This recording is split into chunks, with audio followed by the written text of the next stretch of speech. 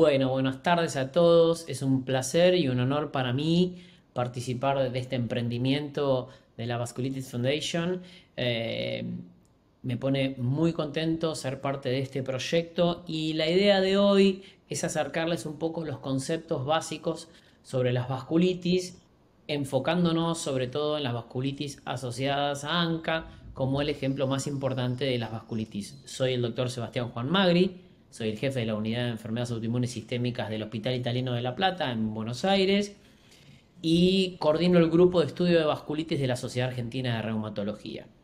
Y para empezar a hablar de este tema vamos a tratar de dividir un poco la, charla en qué son las vasculitis, su epidemiología, cómo las clasificamos y por qué se producen. Son los cuatro ítems que voy a contarles hoy eh, brevemente. Un poco para que estemos ubicados en tiempo y espacio, sabemos que el cuerpo humano, el sistema circulatorio del cuerpo humano está compuesto de arterias y de venas. Para recordarles, las arterias son las que llevan la sangre del corazón a todo el cuerpo y las venas llevan, la llevan al corazón toda la sangre que viene del cuerpo luego de que la sangre llevó todos los nutrientes que nosotros necesitamos, incluyendo el oxígeno, que es muy importante para vivir. Pero están conectadas entre sí las arterias y las venas en una circulación muy pequeñita que se llaman capilares, en donde se unen eh, en varios lugares del cuerpo.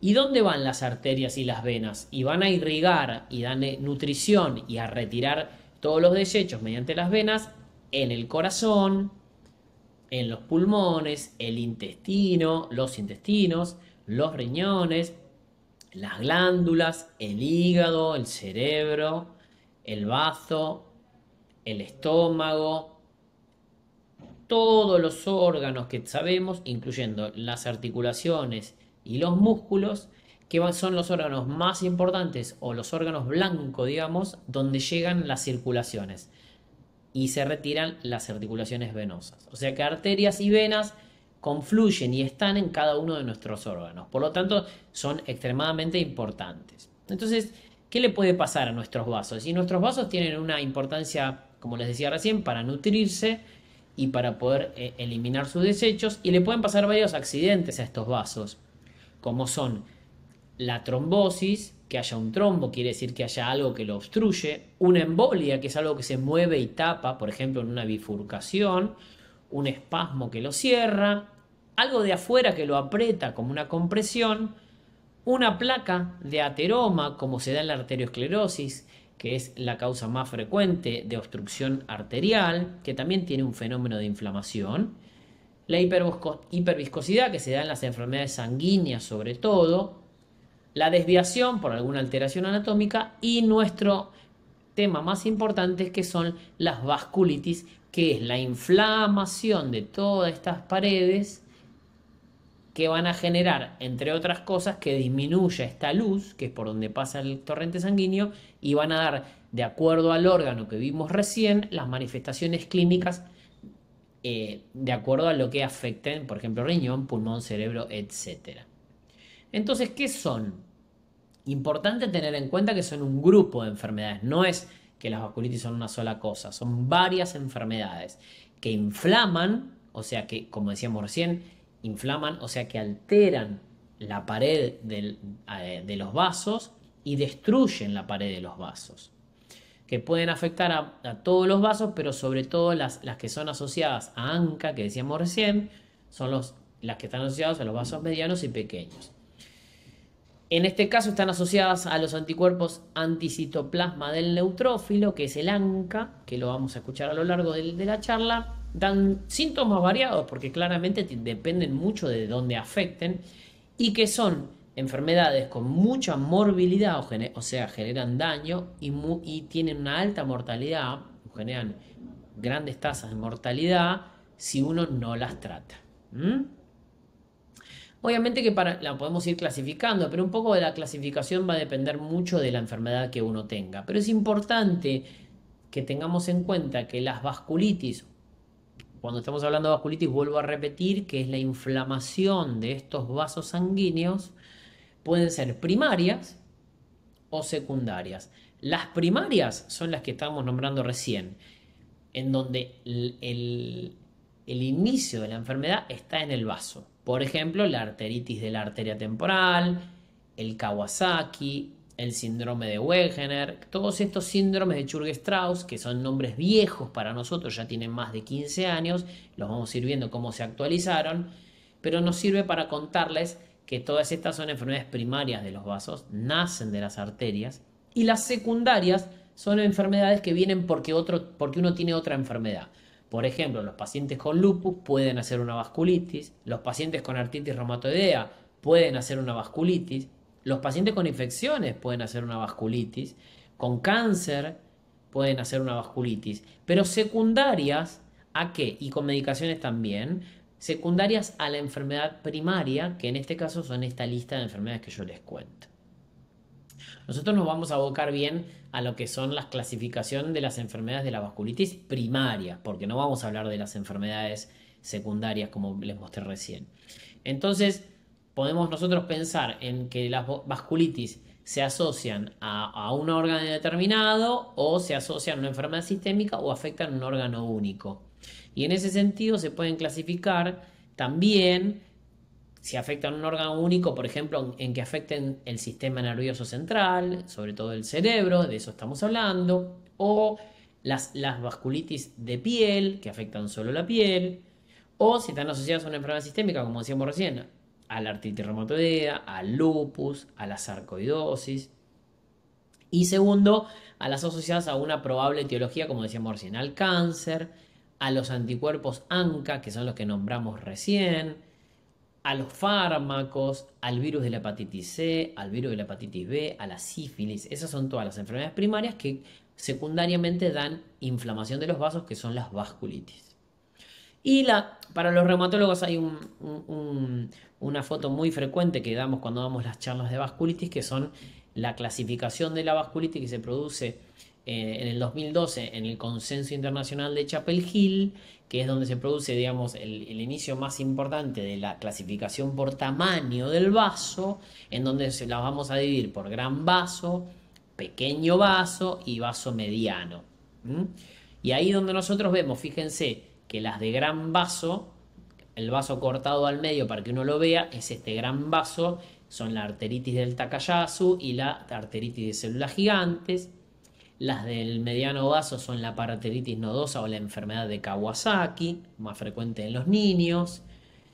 Las de pequeño vaso, que son de este grupo y de este grupo. Las de pequeño vaso de este grupo incluyen, por ejemplo, las de la IgA, que son bastante frecuentes, hay las crioglobulinas, la antimembrana basal, que es una enfermedad que incluye mucho al riñón, y la, los ANCA, que son el gran grupo nuestro, los más conocidos, digamos, que son las asociadas a anticuerpos de los neutrófilos o glóbulos blancos del cuerpo humano que se asocian a poliangeitis microscópica, granulomatosis con poliangeitis, que antes se llamaba Wegener, la eosinofilia con granulomatosis y poliangeitis, que antes se llamaba Churg-Strauss, son estas tres las más eh, famosas porque tienen anticuerpos asociados y son las que vemos, les diría, más frecuentemente.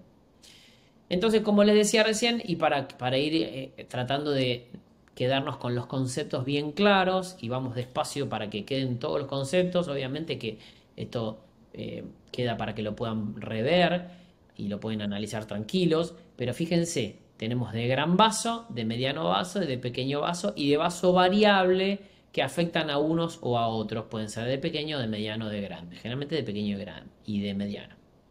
Y las del órgano único que van solamente un solo órgano que, por ejemplo, puede pasar en el apéndice, ¿no?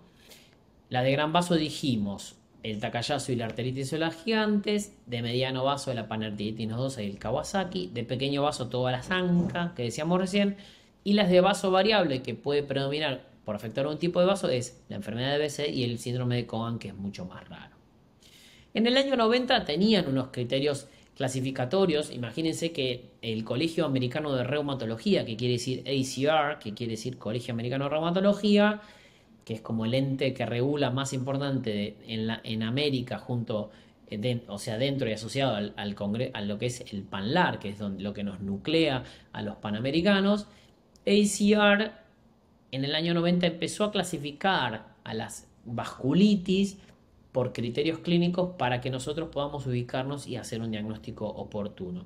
Eso se fue mejorando, no vamos a entrar en eso, varias clasificaciones en el medio para no, no llenarlos de clasificaciones, pero en el 2022, este año, se llegó a un excelente criterio de clasificación, sobre todo para lo que es granulomatosis con poliangeitis. Si ustedes miran bien, vamos a ver en todo esto, esto se llaman draft o, son los, los, que, los principios iniciales, y si ustedes se fijan bien, es muy interesante porque la granulomatosis con poliangitis, que nosotros antes le decíamos Wegener, y la granulomatosis eosinofílica con poliangitis, que nosotros le decíamos Church-Strauss, hoy se pueden llegar a clasificar, son criterios clasificatorios, no diagnósticos, pero al ser clasificatorios nos ayudan muchísimo a los reumatólogos para poder diagnosticar, porque los tenemos en nuestra cabeza y pensamos en ello. Entonces, si nosotros tenemos un paciente que tenga Descarga nasal quiere decir que despide sangre por su nariz, que tenga úlceras en la nariz o en la boca, costras,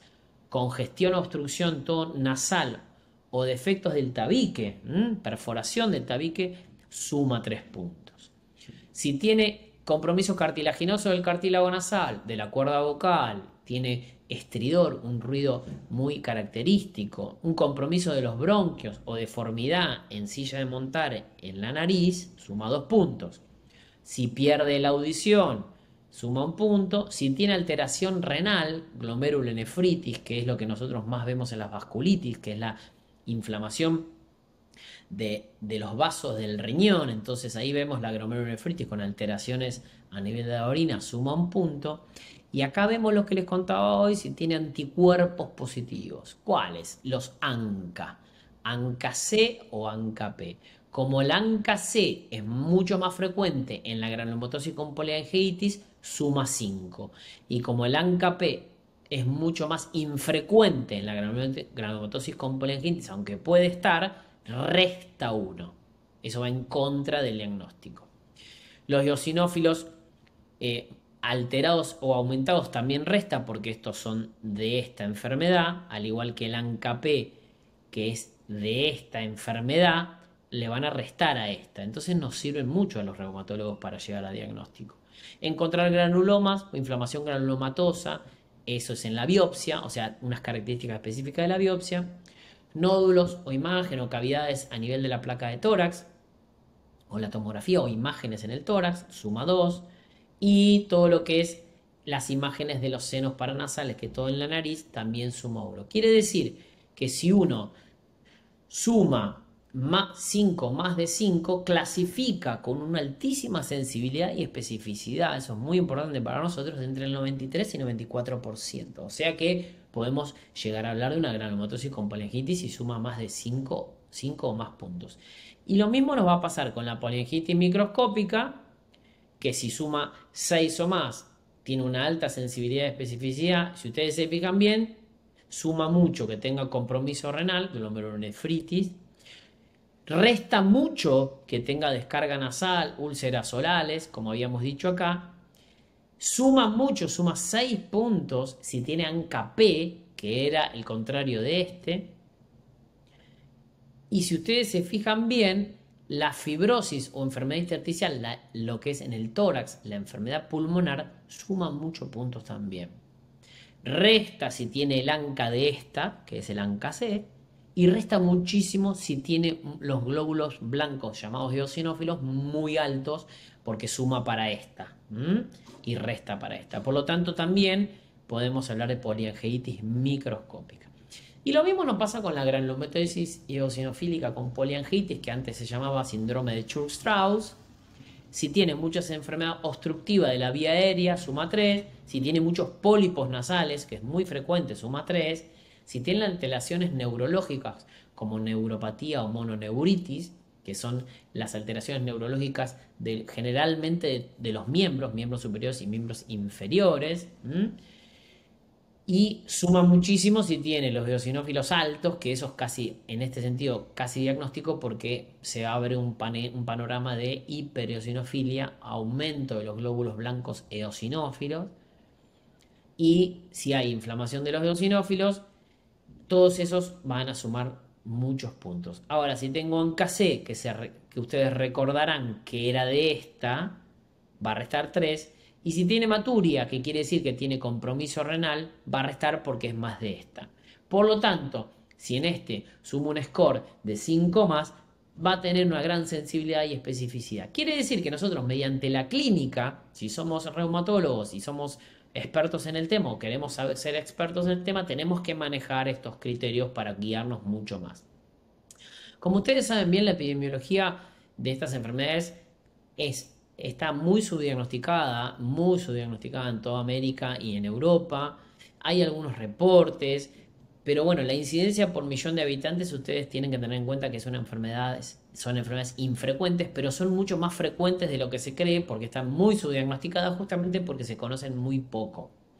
Si ustedes miran bien la GPA o GPA, que es la granulomatosis con poliangeitis, que está en azul, si ustedes miran bien, por ejemplo, en América, fíjense la diferencia entre los trabajos que se presentaron en Lima, los de Minnesota, los del Western Montana, los de, los de mm, Canadá. Si ustedes se fijan bien el número, fíjense que en Minnesota justamente eh, los números son bastante importantes. Tenemos acá de GPA 13 casos por millón de habitantes y de poliangitis microscópica o MPA 16 por millón de habitantes. A diferencia de lo que es Latinoamérica, que hay menos registros y hay menos número de lo que se tiene registrado. A su vez, si uno se va y se mueve un poco y epidemiológicamente se va a Japón, fíjense que en Japón, que hay muchos trabajos del doctor Miyazaki en Japón, nos van a decir que tenemos casi 18.2 por millón de habitantes de poliangitis microscópica y casi nada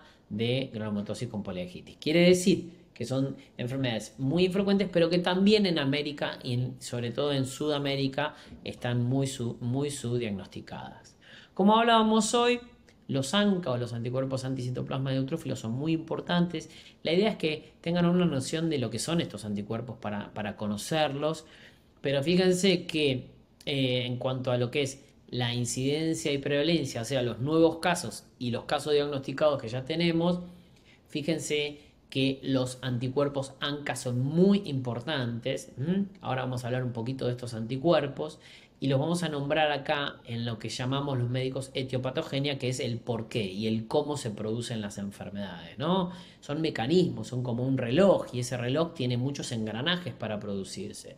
Y hoy lo que llamamos patogenia, que es la producción de la enfermedad, eh, van a ver imágenes muy complejas, pero la idea es hacerlo más simple. Ustedes tienen que tener en cuenta que la genética y el medio ambiente junto con el envejecimiento, recuerden que son enfermedades de las personas más grandes, no son de los de las generalmente, estamos hablando de generalidades, son de personas mayores.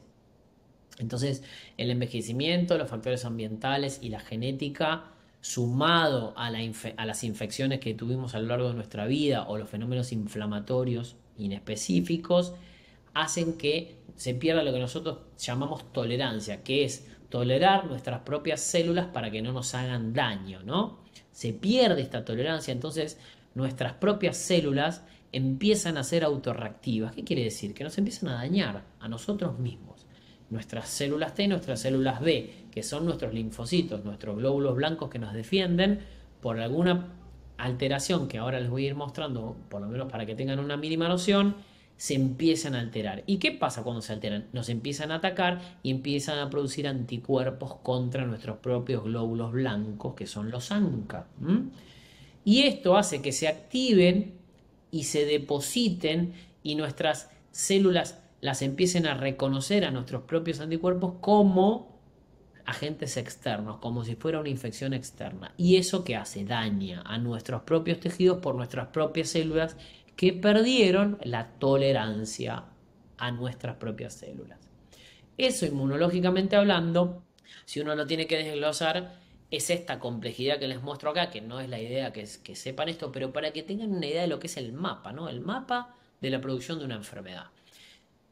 Estos son, muchas son teorías, muchas cosas de estas están demostradas y se saben, pero fíjense que los mecanismos en general son esta predisposición genética con estos genes que uno tiene en su familia, el envejecimiento de nuestro sistema inmune a lo largo de los años, las infecciones y la inflamación crónica por determinadas causas externas al cuerpo y todo lo que nosotros hacemos con el medio ambiente, factores desconocidos, sílice, medicaciones, bueno, los tóxicos como la cocaína, que tienen, hay vasculitis inducidas por cocaína, que nosotros tuvimos varios casos, porque en la producción de la cocaína con levamisol producen enfermedades vasculíticas y dan anticuerpos también ANCA, eh, hoy se sabe, y, todo eso genera mucho daño.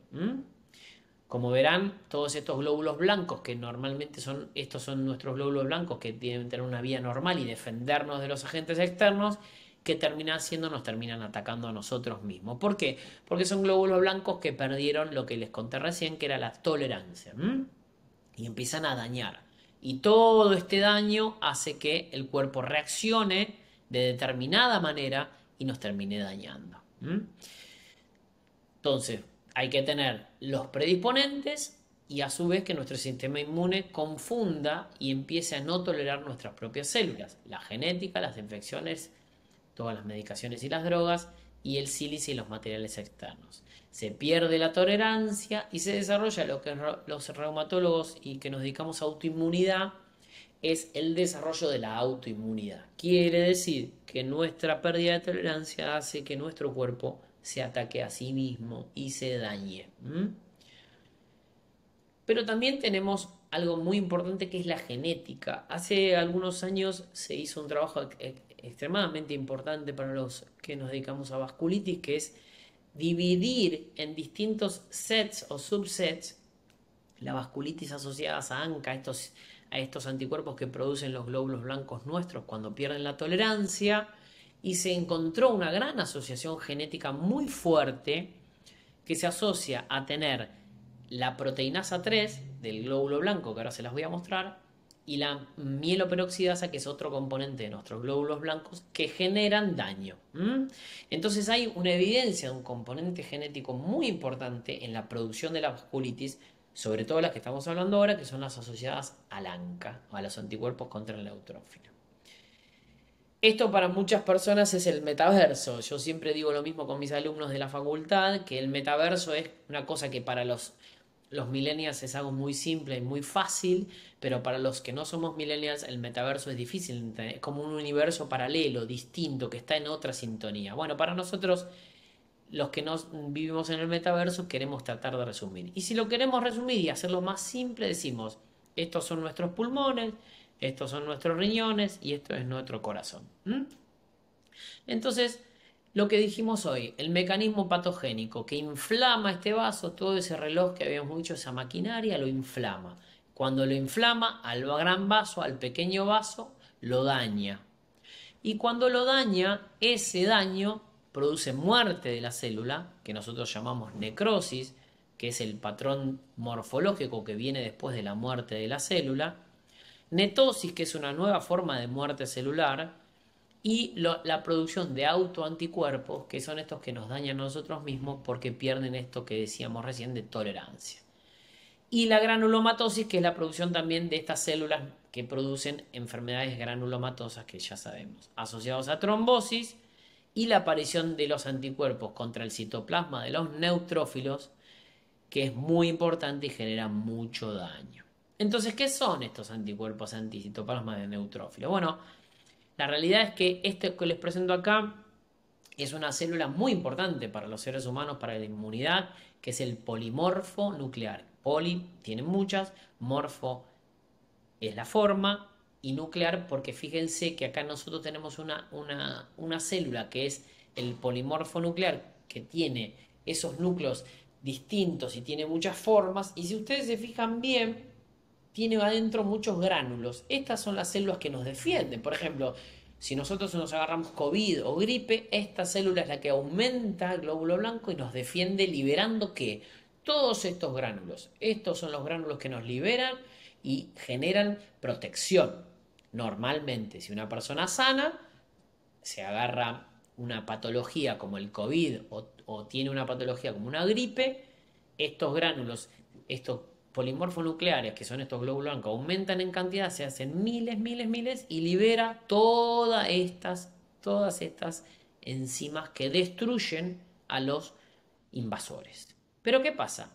En algún momento eso nos ataca a nosotros mismos y producen anticuerpos contra esas propias células, dando estas imágenes. Esta es una foto de los anticuerpos ANCA-C y ANCA-P, que se da por inmunofluorescencia indirecta, que es un método que los reumatólogos conocemos para poder ver sus formas. Si el ANCA-C, este anticuerpo contra el citoplasma del glóbulo blanco, es porque es citoplasmático y este es P porque es perinuclear. Es la forma como para que tengan una idea de eso. Entonces, estos anticuerpos contra el polimorfo nuclear, que es esa célula que normalmente nos defendería y ahora nos ataca y nos hace daño, hace que se hayan generado muchos consensos de testeo de a quién le tenemos que pedir los ANCA. Porque muchas veces pasa que uno tiene estos anticuerpos anticitoplasma neutrófilos y los tiene que pedir o no los tiene que pedir. Y hay indicaciones claras. Digamos, cuando uno sospecha, tiene una, una, persona que uno sospecha una vasculitis asociada a ANCA, ¿no? Con todos esos criterios clínicos que yo les mostré antes, que después el doctor Muñoz les va a hablar de la parte clínica más claramente uno tiene que tener criterios de pedir. ¿Y cuándo hay que pedir estos anticuerpos para ver si yo tengo una vasculitis asociada a, estos anticuerpos que me dañan a mí mismo? Cuando tengo glomerulonefritis, quiere decir daño renal, quiere decir glomerulonefritis rápidamente progresiva. Cuando tengo hemorragia en el pulmón, hemorragia es, eso es escupir sangre o tener hemoptisis, el pulmón sangra. Cuando tengo vasculitis o inflamación a nivel de la piel, pero que tengo algunos síntomas clínicos importantes, cuando tengo muchos nódulos en el pulmón, cuando los encuentran en una placa de tórax o en una radiografía o en una tomografía, cuando tengo alguna lesión destructiva de lo que es vía aérea superior, es muy importante, cuando tengo una sinusitis o una otitis que no se cura, que hace mucho tiempo que me la están tratando y no se cura, cuando tengo obstrucción a nivel de la glotis, acá a nivel de la garganta, una estenosis que me descubre el otorrino laringólogo, el que estudia estas patologías. Cuando tengo alteraciones neurológicas, neuropáticas, lo que les contaba hoy, las neuritis periféricas. Cuando tengo alguna masa atrás del ojo que me encontraron y el ojo sale un poco para afuera o cuando tengo escleritis a repetición, que son patologías del ojo, en donde el ojo se pone rojo y tiene algunas alteraciones importantes que el oftalmólogo me los debería pedir. Son 10 indicaciones.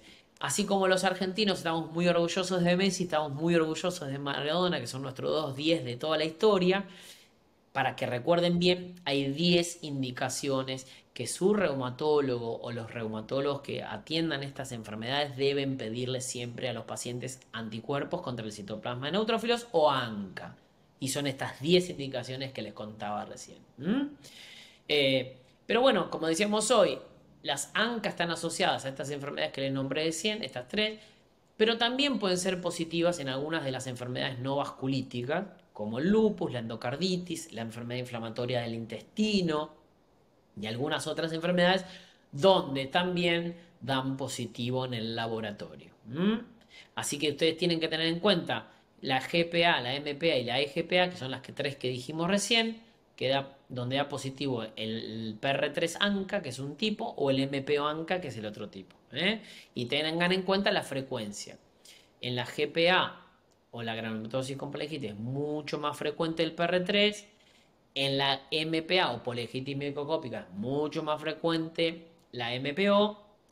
Y si ustedes miran bien, en la vasculitis limitada del riñón, que es una enfermedad que ven más los nefrólogos, casi un 80% puede tener MPO ANCA. ¿eh? Y en lo que nosotros llamamos las vasculitis inducidas por drogas, que les contaba hoy de la cocaína y el levamisol, que es lo que se usa para cortar esa droga, casi el 90% puede tener MPO ANCA. Entonces, ustedes siempre tienen que recordar, y, a los reumatólogos es muy importante recordarles, que siempre hay que, hay que, pedir, hay recomendaciones para pedir estos test, que no puede, eh, si yo tengo ambos anticuerpos negativos, pido el ANCA-C y el ANCA-P, y me dan negativos, pero tengo sospecha clínica alta, yo tengo que reintentar otro inmunoensayo, otra inmunofluorescencia o referir a un laboratorio con mucha más experiencia porque pueden estar dando negativos por, la, por cómo se hace el estudio. No se puede excluir la vasculitis asociada a ANCA si yo tengo ANCA negativo, porque no es solamente el ANCA, sino todo el compromiso clínico que yo les mostré y que les va a mostrar el, próximo profesional. Eh, la positividad siempre nos ayuda al diagnóstico, pero no es diagnóstico por ser positivo solamente. Y siempre los títulos de anticuerpos nos ayudan para la interpretación clínica. Así que los anticuerpos estos son muy importantes. Este es el metaverso, estoy sumergido en ese metaverso con ustedes para poder entender y, la realidad es que son patologías muy importantes y muy interesantes, pero hay que tener muchísimo cuidado porque hay que estar muy al día con todo para que ustedes puedan entender cómo se producen estas enfermedades, cuán frecuentes son y dónde se dan. Por hoy esta es mi, es mi contribución, este es mi equipo, del Hospital Italiano de la, de la Plata en la ciudad de La Plata en Buenos Aires, Argentina, y trabajamos día a día con nuestros pacientes para poder eh, ayudarlos a atravesar sus enfermedades. Les mando un abrazo grande y espero verlos pronto.